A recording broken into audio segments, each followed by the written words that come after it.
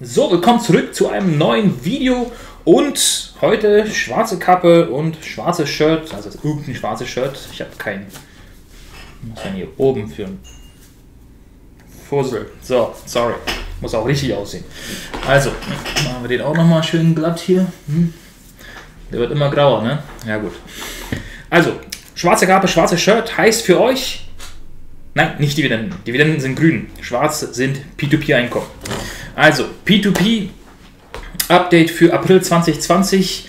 Äh, ja, ich bin auch in P2P investiert.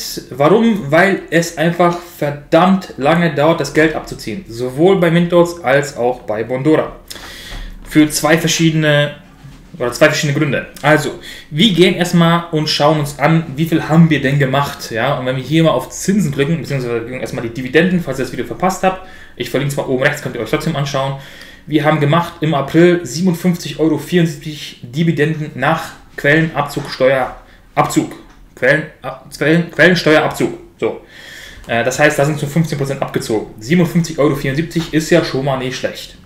So, wenn wir uns jetzt die Zinsen anschauen, dann seht ihr, das Pellblaue sind letztes Jahr, das Dunkelblau ist dieses Jahr. Und ihr seht, der Balken im April ist so ein ganz kleines bisschen mehr. Ja, wir schauen aber nochmal kurz Januar an. Januar hatten wir zusammen 12,73 Euro, Februar 10,68 Euro, ähm, März 5,09 Euro. Wir schauen mal kurz, bei Bondora waren es 72 Cent, bei Mintos 4,37 Euro. Und im April waren es dann gewesen 5,12 Euro. Ihr seht, wir haben 3 Cent mehr. Ja, liegt aber auch an Mintos, weil Mintos, seht ihr, hatten wir 4,73 letzten Monat, haben wir jetzt 4,71, das ist ein bisschen mehr zurückgekommen. Haben wir aber weniger in Bondora, 72 Cent letzten Monat und 41 Cent diesen Monat. Ja, also 5,12 Euro sind zurückgekommen und das war wirklich kleckerweise. Das war ein. Blah, ja, Mintos habe ich 13 Auszahlungen machen müssen und das ist immer alles manuell. Ne? 13 Auszahlungen im April. Zusammen habe ich zurückbekommen 269,83 Euro und es sind immer noch 234,17 Euro, die ausstehend sind. Das können wir uns auch nochmal anschauen. Wo bist du? Wo bist du? Chrome, hier. Seht ihr, 234,17 Euro sind noch pendent. 14 Cent könnte ich jetzt auszahlen. Und das Ding ist, bei Mintos äh, dauert es immer so zwei Tage, bis das Geld da ist. Bei Bondora finde ich das die Auszahlung cooler, weil du machst Auszahlen und es ist sofort da. Also wirklich fünf Minuten später ungefähr. Und beides funktioniert aber nur von Montag bis Freitag. Also am Wochenende könnt ihr, falls Geld zurückkommt, passiert es nicht wirklich, weil ähm, das wird nicht bearbeitet von dem System von den, weder von Mintos noch von Bondora. Äh, das heißt, immer nur von Montag bis Freitag könnt ihr auszahlen und auch eine Auszahlung ja, starten sozusagen, beziehungsweise wenn ihr die am Samstag erst macht, kommt es sowieso erst Montag an. Ja. Und bei Bondora haben wir noch 48,06 Euro ausstehen. Da habe ich 21 Auszahlungen machen müssen. Und zusammen habe ich 53,78 Euro rausbekommen. Ja. Katastrophal, wie das im Moment funktioniert mit den beiden. Das ist echt nervig. Äh, geht halt nicht anders. Wir können kurz mal reinschauen. Äh, wir gucken mal hier. Schaut mal hier. Das sind alle Auszahlungen hier. Ja. Am 1., 6., 16., 16., 2 17, 20, 20, 20, 22, 28, 28, 28, 28. Ja. So sieht das aus. Das war bei Mentos. Und bei Bondora noch, noch krasser. Hier, 2., 4., sorry, 2., 3., 6, 7, 8, 9, 10, 13, 14, 15, 16, 17, 20, 21, 22, 23, 24, 27, 28, 29, 30. Also jeden Wochentag kam so ein Klecker bei. Seht immer 4,13 Euro, 3,45 4,07 Euro, 4,98 und dann wurde es immer weniger. Äh, 2,64, 3, 3,70, 2,42 und jetzt die letzten Tage so 1,45, 1,55, 2,28, 2,95. Jeden Tag muss ich mich da einloggen und das Geld rausholen. Hm? Echt nervig. Aber gut, wenn wir uns jetzt zusammen anschauen, die Erträge für äh, April, dann haben wir zusammen mit Mintos und den Dividenden 62,86 Euro, 62,86 Euro gemacht schon nicht schlecht, ja. Ihr seht, im Januar hatten wir über 100 Euro mit den P2P-Zinsen noch gehabt. Äh, Dividenden waren gewesen knapp 100, unter 100 Euro, 96,20 und zusammen sind wir noch über 100 Euro und äh, ja, aber die Dividenden, die muss ich noch knacken. Da hoffe ich auf den Mai. Ja. Mai wird der Monat der Dividenden, das wird ein neuer Rekordmonat. Fingers crossed. Wir hoffen es doch mal. Ne?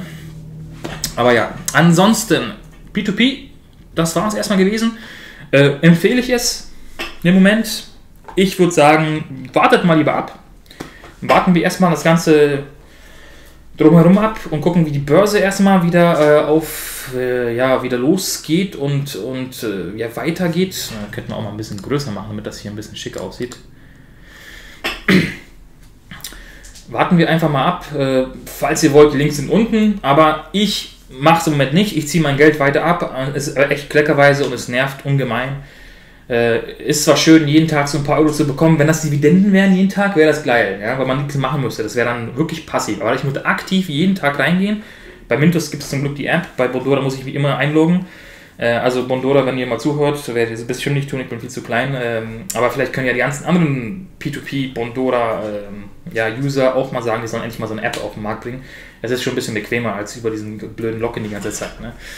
Ähm, ja, also ich würde erstmal abwarten. Wenn ihr unbedingt wollt, die Links sind da, aber ich warte ab. Ich ziehe mein Geld weiter ab. Wie gesagt, ich habe noch knapp 270, 278, 282 Euro und ein bisschen, ja. Das sind. Wobei, eine Sache ist noch cool bei Bondora. Ähm, es kommen immer noch Zinsen rein, ja. Das Geld, was noch nicht zurück ist, da wird immer noch Zinsen drauf gezahlt. Im Moment sind es 1 Cent am Tag, das ich bekomme. Aber durch dieses Warten habe ich immerhin äh, auch wieder 41 Cent zusammenbekommen. Äh, das ist das, was ich jetzt, ne, was meine Zinsen waren. Ähm, wenigstens das kriegt man noch ein bisschen entschädigt, aber gut, die, ich würde lieber das Geld jetzt haben, in irgendwas investieren können und da vielleicht eine Dividende schon äh, haben vor dem Ex-Date, was mehr wäre als die Zinsen, die ich jetzt hier bekomme. Aber gut, ähm, ist halt wie es ist. Ansonsten, für die, die jetzt ein bisschen zuschauen, ähm, ihr seht es hier oben, Lufthansa. So ein kleines Update. Ich habe meine Lufthansa-Position heute äh, verkauft. Ich habe keinen Bock mehr drauf gehabt, äh, weil, ihr habt es vielleicht mitbekommen, der Warren Buffett in Amerika hat all seine äh, Airline-Aktien verkauft oder gehen in den Verkauf oder wie auch immer. Ähm, ich nehme mal an, er wird, wenn überhaupt, nochmal einsteigen, dann zu tieferen Kursen. Deswegen verkauft er die jetzt. Er erwartet wohl höchstwahrscheinlich, äh, dass die Kurse weiterfallen und steigt vielleicht später wieder ein, ich weiß es nicht.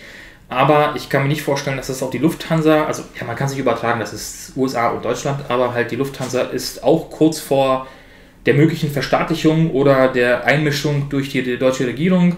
Äh, ob die jetzt irgendwelche schlechten Zinsen zahlen dürfen mit 9%, habe ich schon gelesen und gehört teilweise. Ähm, durch Staatskredite, ich weiß nicht, aber ich, was ich so gesehen habe und gehört habe und gelesen habe über äh, ja, die History in Amerika auch für die Airlines, die gerettet worden sind, die, die leer ausgehen, sind die Aktionäre. Wenn das Ding verstaatlicht wird, kriegt der Aktionär einen Scheißdreck. Ja? Und bevor die Aktie äh, irgendwie nichts mehr wert ist oder Richtung 2 äh, Euro, habe ich sogar heute gehört, ich habe heute einen Beitrag äh, gesehen auf YouTube auch, ähm, da wird spekuliert, dass äh, von verschiedenen ähm, Anlagehäusern und ja, wie heißen Analysten, ja, so heißen ja die Herrschaften. Von Analysten, äh, ich glaube die UBS und noch irgendein anderer ist die einzige, die irgendwas mit 8 als Ziel hat. Und es gibt andere, die sind äh, bei 5, teilweise sogar 2 Euro Ziel äh, von der Lufthansa und äh, da habe ich keinen Bock drauf. Und deswegen ich gesagt, okay, ich beiße den sauren Apfel und habe meine Lufthansa-Position verkauft. 15 Stück, 15,96 hatte ich gehabt, 15 sind weg. Äh, ich warte noch auf Dings und ich habe noch ein bisschen was, aber ich wollte es euch zeigen, denn wenn wir verkaufen, natürlich, also guckt ihr nochmal kurz an, den Login müsst ihr ja nicht sehen. Wenn wir verkaufen, so, dann, ihr seht, ich habe äh, Lufthansa, Verkauf, 0,96 Stück, 96 Stück. Und ihr könnt gar nichts, ihr könnt ein Limit setzen, aber ja, mein Gott, ich will es einfach nur noch loswerden jetzt und ihr seht, der Kurs ist sogar noch schlechter als links. Aber wenn wir jetzt weiter drücken, und wir gucken hier, ich werde 7,46 Euro bekommen. Und es geht nur über die eine Börse, ja. Man kann nichts anderes machen, weil es ein Teilstück ist. Aber das Interessante ist, der Verkauf von Bruchstücken ist für Sie kostenfrei. Ihr könnt jetzt nicht jeden Tag 0,99 Stück verkaufen, das geht leider nicht. Wenn ihr 28,3 habt, dann verkauft ihr 28 zu dem Kurs und halt die Gebühren und die 0,3 sind dann kostenfrei. Ja, nur mal so. Und das wird auch länger dauern, aber ich werde das jetzt machen denn ich will das ganze Zeug loswerden. Was soll ich mit 0,96 Anteilen von Lufthansa? Ähm, Push-Verfahren, Login, FaceTime oder Face ID. So, freigeben. Babum. Freilagger oder teilt. Fertig. Und weg ist der Rotz. So. Das wird jetzt ein bisschen dauern, das dauert immer ein bisschen länger bis Bruchstücke, weil die sammeln denke ich mal, alle Bruchstücke zusammen und verkaufen dann alles äh, zusammen. Aber äh, ist jetzt weg. So, das wollte ich nochmal gezeigt haben. Ähm, wo haben wir unser Portfolio Performance? Und ja, das war's gewesen für heute. Ähm, Battle of the Portfolios ist gestartet. Äh, ich habe die ganzen Sachen abgedatet. Um das zu vereinfachen, habe ich die Sparpläne wirklich hier als Sparpläne eingetragen und die, der ballert die dann einfach durch mit den Kursen, die dann da sind. Ich werde mir jetzt nicht noch hinsetzen und dann die Kurse zu der Zeit manuell raussuchen, sondern der ballert das einfach durch und fertig ist. Und äh, man sieht schon die ersten ähm, Bewegungen, sag ich mal so. Aber auch weil der Markt heute ein bisschen runtergegangen ist, also am Freitag schon und heute am 4.5. auch. Und äh, wir werden dann sehen. Also das nächste Video, denke ich mal, wird äh, vielleicht Battle of the Portfolios oder ein Update von Kalenderwoche, was haben wir denn? Das ist 19, glaube ich, ne? KW 19. Äh, denn die Sparpläne wurden ja nicht letzte Woche ausgeführt, sondern äh, heute. Die von der Konsensbank sind schon durch. Yay! Die von der Comdirect äh, waren 38 neue oder extra Runden, bis das dann irgendwann heute Nacht vielleicht mal auf dem Konto landet oder mal endlich äh, aufgeführt wird und die PDFs kommen erst irgendwann morgen Nacht. Ja, also die sind immer so spät. Ich verstehe es einfach nicht, aber gut. Das Einzige, was ich wirklich bei der Comdirect mag, ist, ist es sehr übersichtlich. Äh, das, ne, das Depot und so mit den, mit den äh, Tabs und sowas. Haben wir bei der Consorsbank nicht. Da ist es alles so ein bisschen rudimentärer, aber die sind wenigstens ein bisschen auf Zack. Und was noch interessant ist, alle, die interessiert sind an EPR Properties und an anderen REITs, die sind besparbar mittlerweile auch bei äh, Consorsbank. Das ist wirklich der Vorteil von der Consorsbank. Wenn ihr an diesen Sachen interessiert seid, die haben sehr viele REITs an Bord.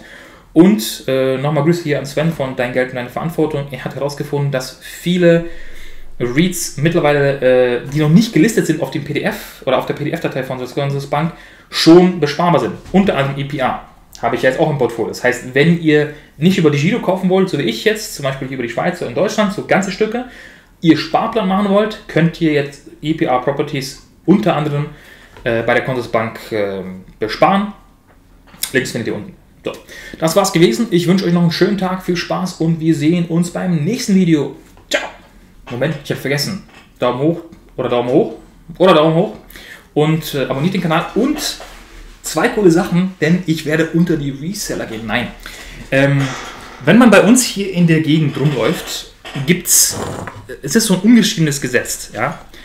Das heißt, jeder, der irgendwas hat, was er, ich sag mal so, äh, nett ausgedrückt, viele Leute haben Sachen, die sie nicht mehr brauchen. Und irgendwie ist das hier gang und gäbe, also jetzt jedenfalls hier in Bern, bei mir in Interlaken, dass die Leute das ganze Zeug draufstellen auf die Straße und dann einfach gratis hinschreiben. Zu 99% ist das einfach kompletter Müll. Abgeranzte irgendwelche Möbel, die kein Schwein mehr mit dem A ansehen will. Ne? Aber teilweise findet man Sachen drunter. So, weil ich, ich bin ja viel Spazieren jetzt im Moment mit meiner Frau und unserer Tochter, so, wenn das Wetter schön ist. Also heute ist wirklich super schön und Sonnenschein. Und wir waren letzte Woche spazieren und da habe ich das hier gefunden. Guck mal. Aber Schallplatten. Und da waren zwei Schallplatten von, also oft sind es Bücher, aber auch oft so abgeranztes Spielzeug von Kindern, was ich meiner Tochter nicht geben möchte. Aber halt so eine Dinger, ne? Und äh, da habe ich mir gedacht, pff, die kann man ja mal mitnehmen. Das ist ja gar nicht so schlecht. So Platten sollte man da nicht wegwerfen. Das heißt, ich habe jetzt einmal Super Trooper und einmal Voulez-vous von ABBA. Und ich werde mal schauen, ob ich das Zeug loswerde. Und da war ich heute unterwegs mit meiner Frau.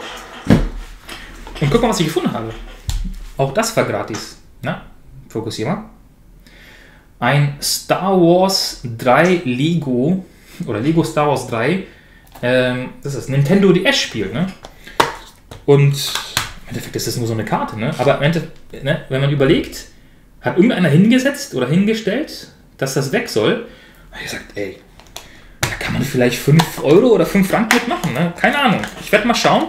Ansonsten, wenn ihr wisst, was jetzt so eine Platte von ABBA und was so ein Spiel ungefähr bringt, bevor ich jetzt geguckt habe, ich habe wirklich noch nicht geguckt, äh, schreibt es unten in die, Be äh, in die Kommentare.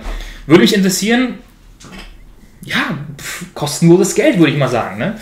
Ähm, man muss halt nur die Augen offen halten. Also, das war's gewesen. Ich wünsche noch einen schönen Tag und äh, ja, viel Spaß.